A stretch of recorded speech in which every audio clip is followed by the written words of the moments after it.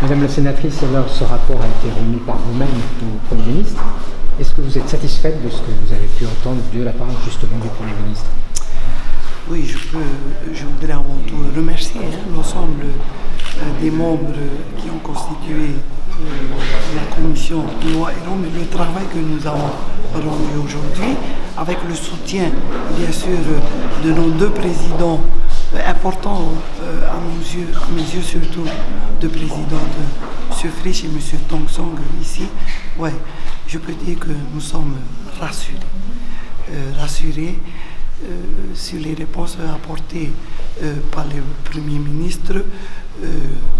je suis convaincu ce matin, en tous les cas, qu'ils ont pris quand même le temps de lire le rapport que nous euh, avons déposé et que euh, certaines euh, préconisations que nous avions évoquées dans le rapport, nous avons pu obtenir les réponses ce matin très très très positifs, surtout dans l'objectif de faire avancer rapidement ce sujet si cher à nos malades, pour ne citer l'indemnisation de nos victimes du nucléaire. Voilà. C'est une présidente rassurée ce matin euh, qui sort.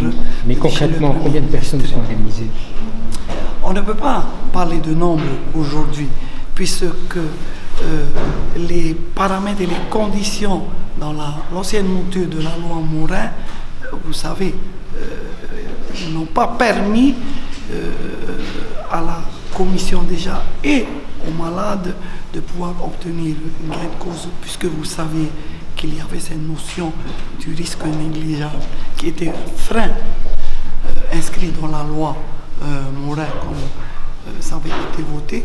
Aujourd'hui, aujourd'hui, je pense que en termes de chiffres, il faut attendre les prochains travaux d'ici, d'ailleurs qui ont déjà commencé, qui seront consolidés par des modifications statutaires et via des amendements que nous allons déposer dans les semaines qui viennent. Et je pense que euh, je vous donne rendez-vous peut-être dans six mois pour euh, avoir euh, un chiffre. Nana, quelles sont les, préconisations dont vous êtes assuré que l'État participera? Avant tout, consolider la nouvelle méthodologie du CIVEN, ce qui est important, basé sur, une, sur des paramètres, mais vraiment législatifs, confortés euh, aujourd'hui, euh, l'appui de l'État euh, à travers des médecins que l'armée viendra pour renforcer le centre de suivi médical installé à Papété, qui a été confirmé ce matin par le ministère de la Santé. on a parlé aussi du centre de mémoire. Important aussi euh, aujourd'hui, qui est confirmé aussi via l'amendement qui a été déposé par le gouvernement dans la PLF euh, de cette euh, année. En quand tous ces sujets sont liés.